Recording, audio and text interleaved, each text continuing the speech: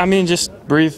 You know, same thing I've been telling myself for the last, you know, six years. Just take a deep breath.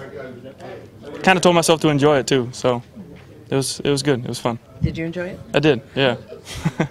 Molly was talking about the youth on this team and how he guys want he wants you to enjoy it and he also wants to take it kind of in stride. And Miguel was just saying, it's a game. We're having fun. Is that all right? The mentality of this team? Absolutely, it is. Yeah. I mean, you know, the the veteran, the leadership here, they you know they came up to me and they're like, every inning's important. You know, we're we're gonna go out here, we're gonna win some games. You know, it doesn't matter when you go in.